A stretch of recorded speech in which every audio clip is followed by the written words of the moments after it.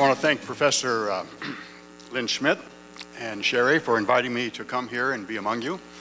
I've been to the Philippines quite a few times, uh, but this is my first time to be on your campus and to work with you as Nazarenes. I've uh, worked with Nazarenes from time to time, and I grew up as a Free Methodist, so you could say that we're uh, cousins. I'm not sure we're kissing cousins, but we certainly are. And I want to thank President Bruce Oldham for, uh, for his welcome and, and hospitality. It's just, uh, it's just great to be here. the address I've given today is The Gospel and Culture Advocates or Adversaries in Contextualization. Now, this morning I wanted to address the issue of the relationship between God's eternal Word and the changing world in which we understand it, both down through time and across our planet from one culture to another.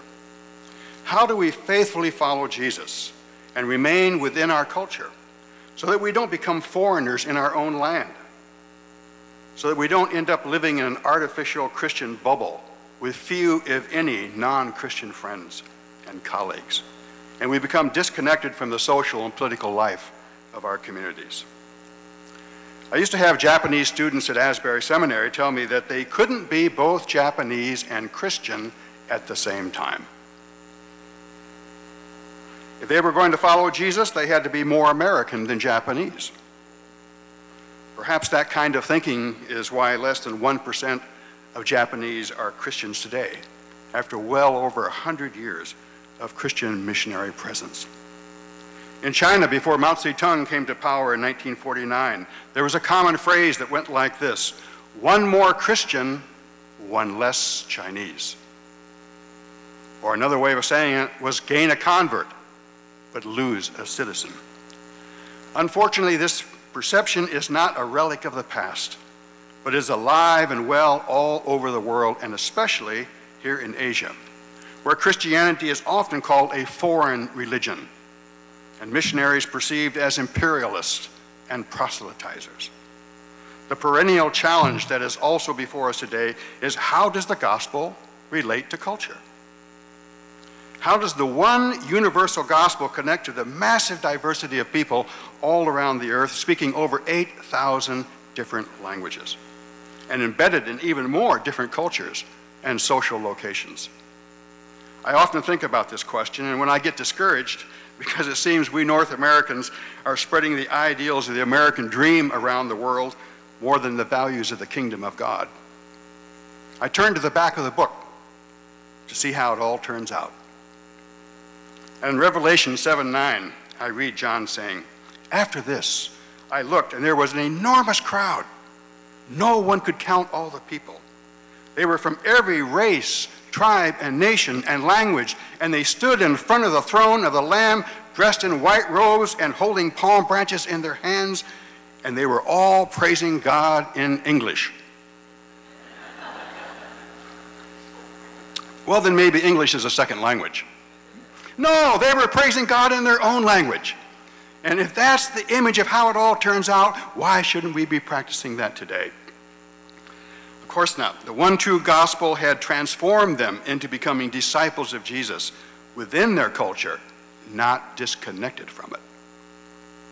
So, this morning and tomorrow morning, I want to talk about why contextualization is so crucial for the advancement of the kingdom of God, especially in Asia, but literally everywhere cross cultural witnesses, who we often call missionaries, have gone carrying the good news of the gospel of Jesus Christ.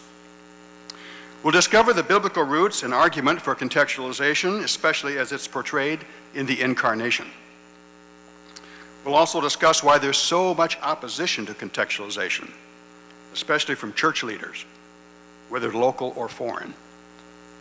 We'll address some of the fears people have and argue that radical biblical contextualization, that's the word I like to use, radical, it's absolutely radical, biblical contextualization, all three words have to, be, have to go together. It is not the slippery slope to syncretism, as many fear, but rather it's the very best hedge against it. In my three days with you, I want that theme to come through very, very clearly. Contextualization is not the slippery slope that leads to syncretism. We're afraid of that, but rather it is the very best hedge against it. Perhaps we should look at a definition, and then I want to tell you a story. In one of my articles on contextualization, I've defined it as a method. Now, let's see. I think that's up here, isn't it? There we go. Okay. I put it up here in case you want to look at it, but um, I'm going to read it here anyway. Um, I've defined it as a method and a process that attempts to communicate the gospel in word and deed. Very important. Not just proclamation, but the way we live out the gospel is even more important. And to establish the church in ways that make sense to people within their local cultural context. Presenting Christianity in such a way that it meets people's deepest needs and penetrates their worldview, thus enabling them to follow Christ and remain within their own culture. I'll be talking more about this uh, tomorrow, is how, how do we go from the surface to the deep levels of our culture uh, with, the, with the gospel. Now for a short story.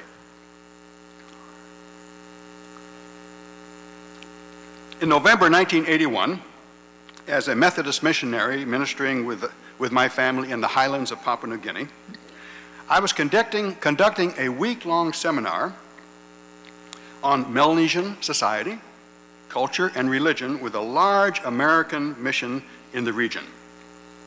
I remember the scene very well. We had an old-fashioned chalkboard, and I wrote so much on the board with cheap chalk that by the end of the week I could hardly talk. In fact, I used to joke, I'm probably going to die from white lung instead of black lung. I, I had consumed so much chalk.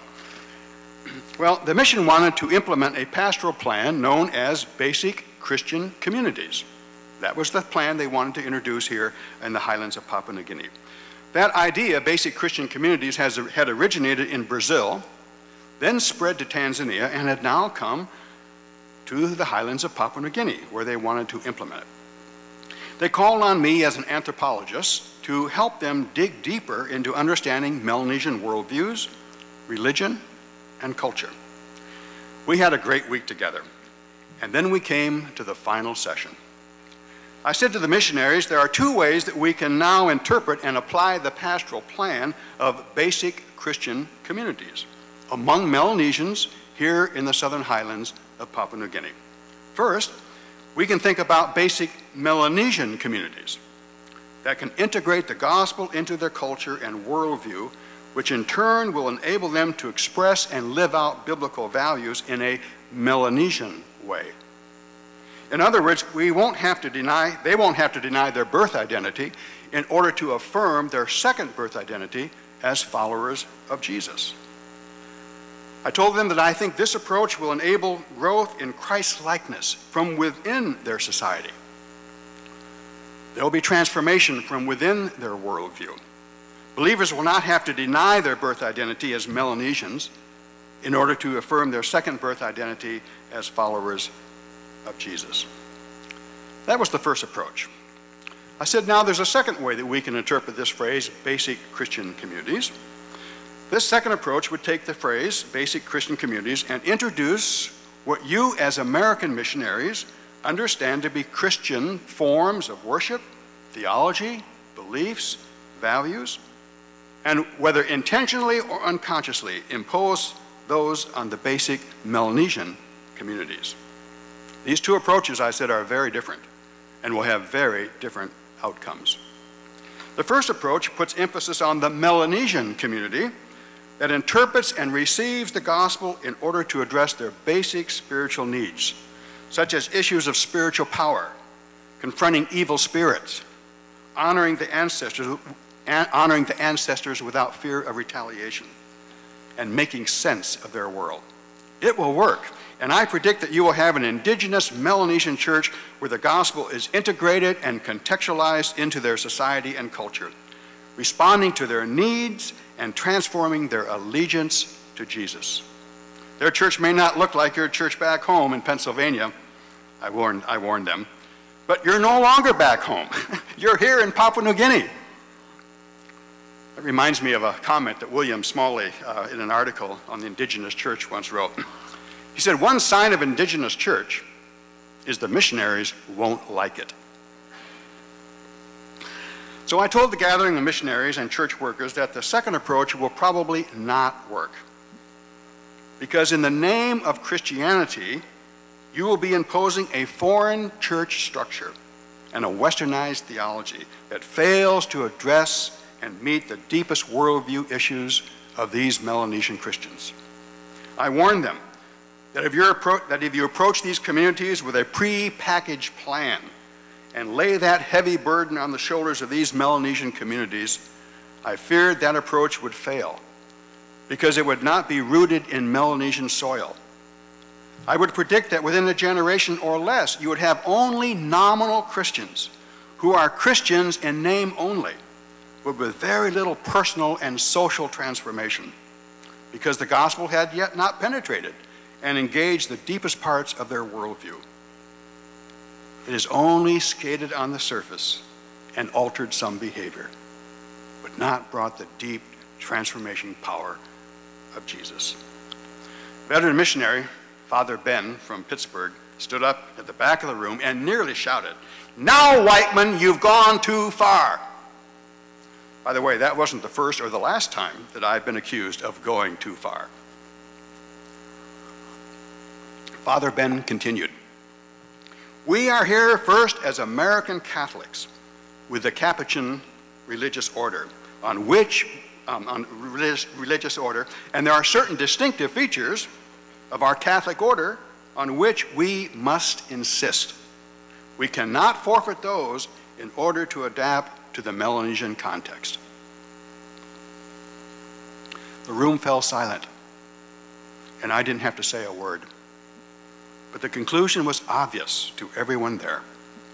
The choice of these two approaches was Melanesian Christians or Roman Catholics. Within the other mission organization who insisted on imposing their religious forms and theology on receptive people, I could just as easily have said Melanesian Christian or Free Methodist, Melanesian Christians or Nazarenes, Christian or Baptist. You get the picture. You see, what was missing here was a comprehensive understanding of contextualization and a healthy appreciation for how the gospel relates to culture and connects deeply with Melanesian worldviews. Also missing was a robust theology of creation that discerned where God was already present in their culture long before the missionaries arrived. As Wesleyans, we tend to have a strong theology of redemption but a weaker theology of creation that recognizes the missio Dei, or the mission of God in the world. You see, this is not our mission. It is God's mission. And God invites ordinary people like you and me to join God in that mission. And if we can get that straight, our whole approach to mission would be quite different. You see, culture is not the enemy of the gospel. It's the vehicle through which we come to understand and live out the gospel. God makes himself known and understood in the language and culture of people and has been doing this from the very beginning of creation. So, why do we so often think that culture is the enemy of the gospel when it's the avenue through which God speaks to all of us? And when God does not speak to us through our culture, we don't hear. And there's a part of us that goes untransformed. There are three things we can say about the gospel that relates to culture. First thing is the gospel affirms most of culture. This is important. The gospel affirms most of culture. I didn't have to learn another language. I didn't have to cease being an American to be a follower of Jesus. There's a lot of my culture that the gospel affirms. But that's only part of the story. The second one is the gospel critiques and confronts some of culture. I cannot be a true follower of Jesus and be 100% American. Part of the American values of individualism and materialism, those are antithetical to being a follower of Jesus. And I have to be out of step with my own culture at that point. And here's the really good news the gospel affirms most, the gospel critiques and confronts some, but the good news is the gospel transforms all of culture. And this is what we want to see.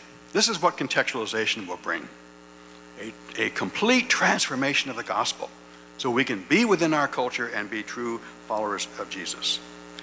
Now we know both from, from, from missiological anthropology and incarnational theology that the Christian fellowship groups that we plant, which we often call churches, in cultures that are different from our own, must always be relevant to the society and culture, and also faithful to Scripture.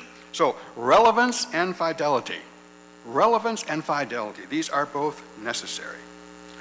We are continually, and rightly so, warned of introducing forms of Western Christianity on what we have from colonial times to the present called the mission field. That's a term I wish we could leave behind because there's a sense of possession. It's our mission field. No, it's God's mission. It's not our mission field. So here we're caught in a theological tension and a denominational dilemma.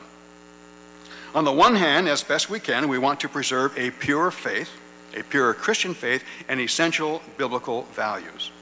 On the other hand, we seek to encourage the new believers to express their faith and Christian values in ways which are culturally appropriate for them. So the basic problem seems to be how do we communicate and live out the gospel with new believers in other cultures without having the gospel contaminated by what we perceive as non Christian forms and values with which it must be communicated, understood, and interpreted. In other words, how do we promote contextualization and avoid syncretism? That's, that's the crux.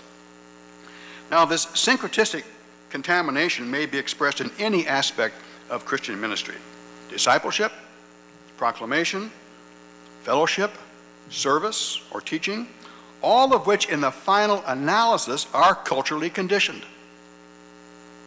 When we do discipleship, we do it in the cultural context. There's no such thing as culture free Christianity. All churches are culture churches. The issue is whose culture will they reflect? The foreigners or the locals? That's the issue.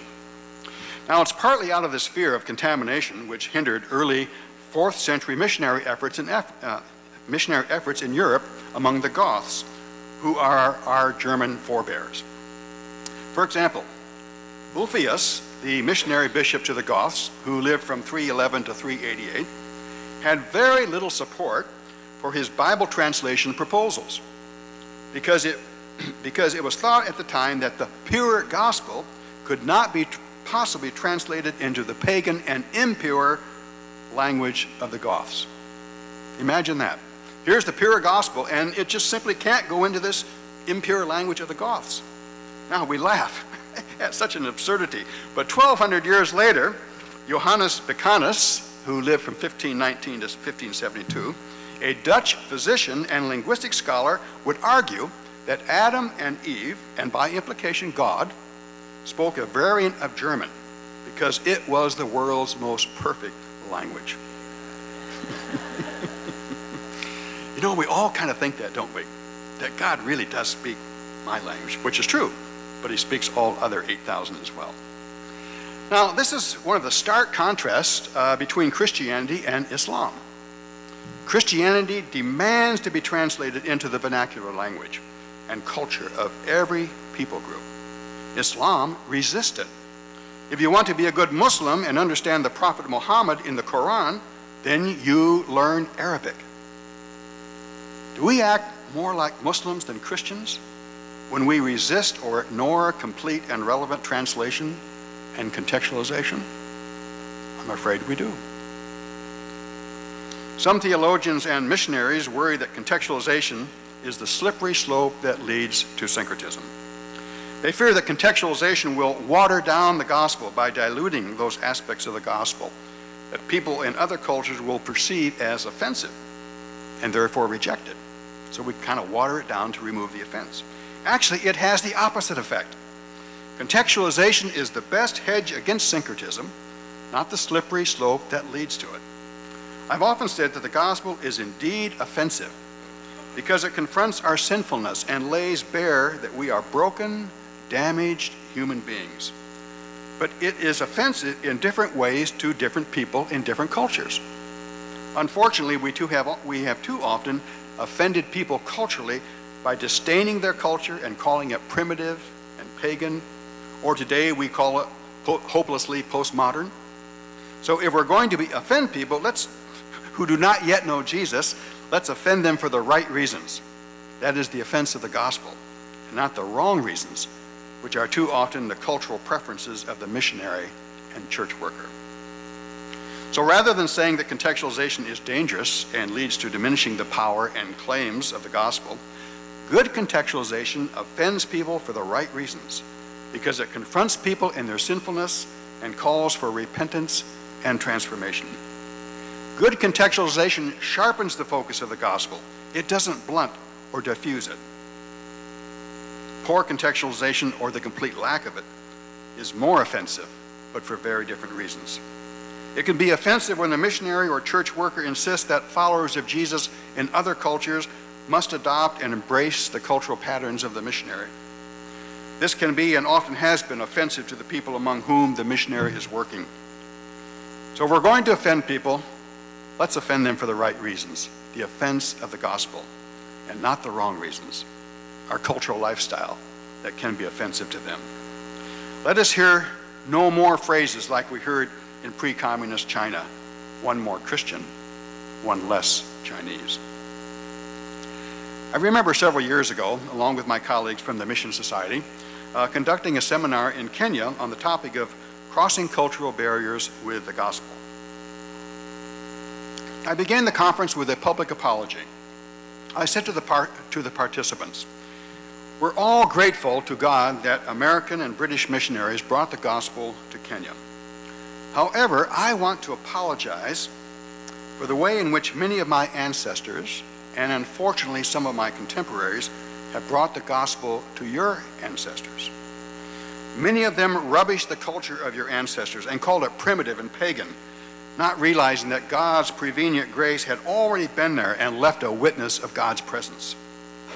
The message they sent to your ancestors was that if you want to become a Christian, you have to abandon your culture and embrace our Western culture, our systematic theology, and our church polity and organization. I asked them, Will you forgive me? Will you forgive me and my ancestors for the way that we brought the gospel to Kenya and the way some of us are still doing it today? As I spoke, I noticed tears starting to stream down the cheeks of many of the 125 participants. God's Spirit descended on us, and we were greatly moved. That evening, word spread quickly throughout the area that this was not going to be another typical seminar, seminar like so many others that come from America. It was going to be very different. The next morning, the number of participants had swelled to 186. At the end of a fabulous week, the African organizer of the conference stood up and said, What a mighty outpouring of God's Spirit um, we had witnessed that, uh, that, that, uh, that week. And he asked for two volunteers to come to the front of the assembly hall and share what the week had meant to them. An old lady from the back of the room ran to the front because she did not want to miss this opportunity. She stood and said, You can see that I'm an old lady. I've lived a long time, but never in my lifetime until this week have I ever heard a white man apologize for anything until now. I want to say to you, you are forgiven, and the offense is over. I'm going home to tell my children what happened this week, and that we can once again affirm our culture and our identity as Kipsigis in Kenya and follow Jesus. The two do not need to be separated. The door to contextualization in her culture had been flung open, and she and her family were going to walk through it and discover how to be a Christian within her culture, not separated from it. You see, when the gospel is presented in word and deed, through proclamation and the way we live, and if the church is organized along relevant and appropriate patterns in the culture, then you have the birth of contextualization. The gospel will sink deeply into their worldview and transform their values. And people will more likely be confronted with the offense of the gospel instead of the cultural offense of foreign missionaries. It will expose their own sinfulness and the tendency toward creating evil, oppressive, social structures, and behavior patterns within their culture. And that is really good news.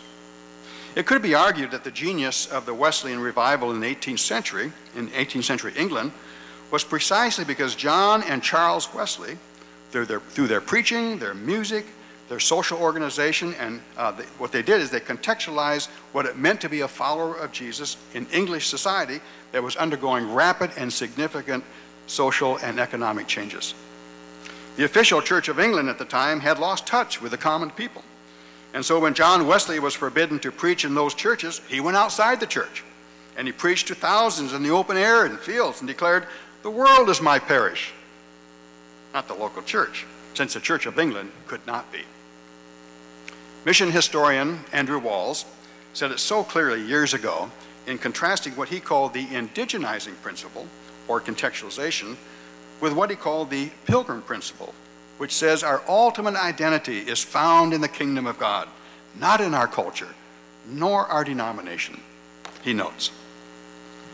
Along with the indigenizing principle, which makes his faith a place to feel at home, the Christian inherits the pilgrim principle, which whispers to him that he has no abiding city and warns him that to be faithful to Christ will put him out of step with his society.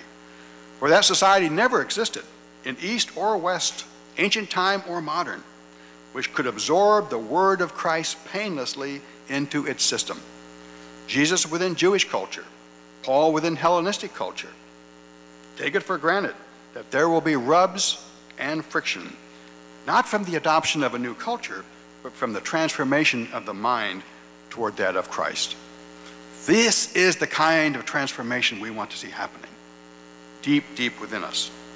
Now, I want to now turn, to, turn our attention to the incarnation as a biblical model uh, for cross-cultural ministry and as the supreme example of contextualization. In the incarnation, God became contextualized as a Jew uh, contextualized as Jesus the Jew, who was shaped and conditioned by first century colonial, Roman, occupied, Palestine, Palestine culture.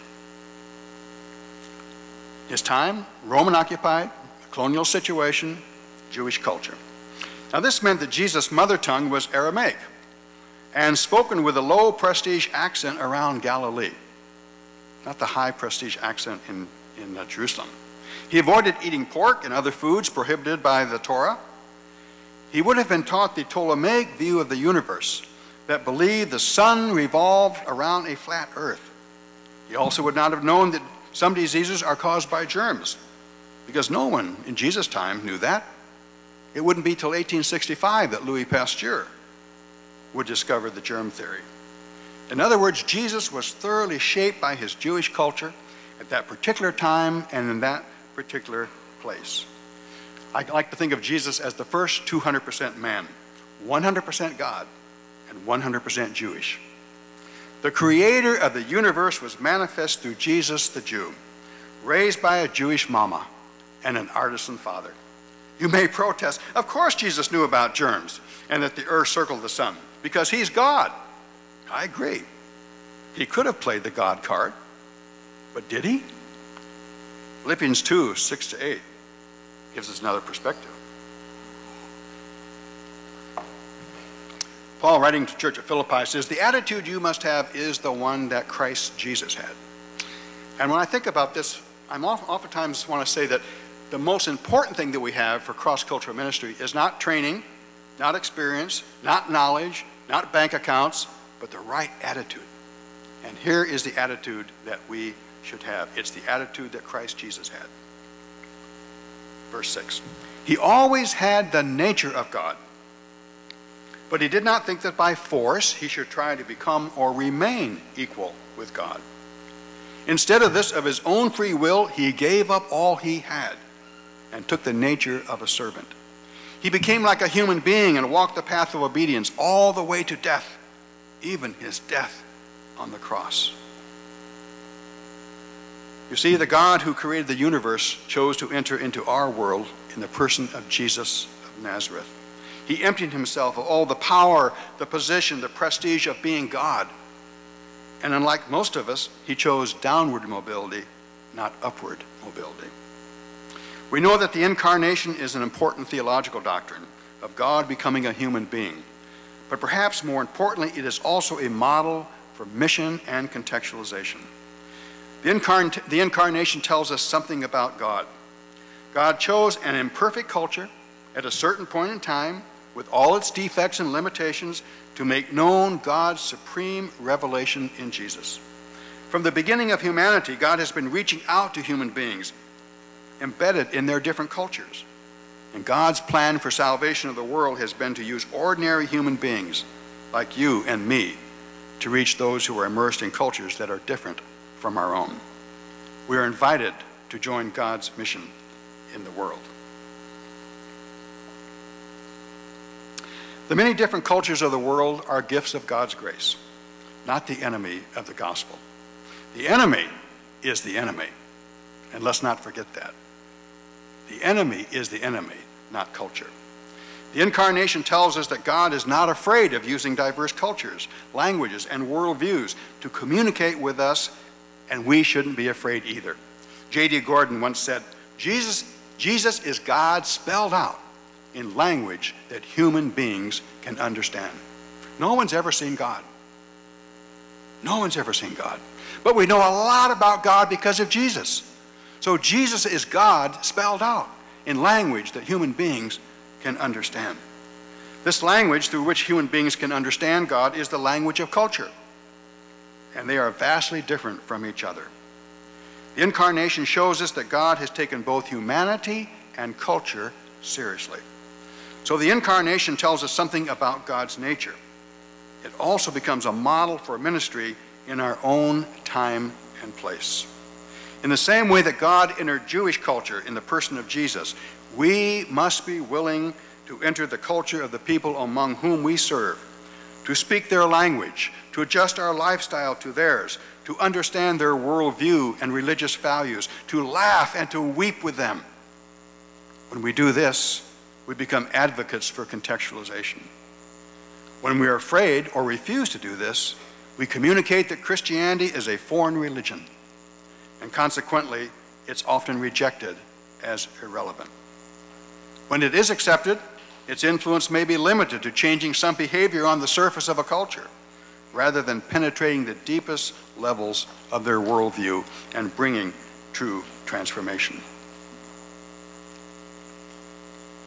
Filipina Melba Maggay who's director of the Institute for Studies in Asian Church and Culture here in Manila, says, through almost five centuries of Christian tradition, this country remains unengaged by the gospel where it matters most, in what anthropologists call the deep structures of culture, matters of conscience, conscience, worldview, and values.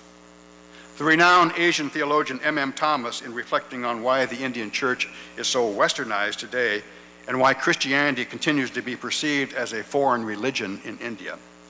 Notes that Christianity was brought to India by Western missionaries in the colonial era as a potted plant.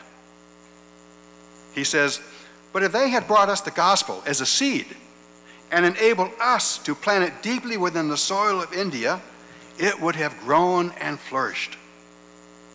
But they didn't. They brought it as a potted plant. Good contextualization enables the church to grow organically in depth, but the lack of it stifles growth, and over time it degenerates into just a nominal form of Christianity. As 2 Timothy 3:5 describes, they will have the form of godliness, but reject its real power. It will be Christian in name only. This is the challenging problem we see throughout this region, but not only here. I've seen it everywhere I've gone in the world. Thank you so much.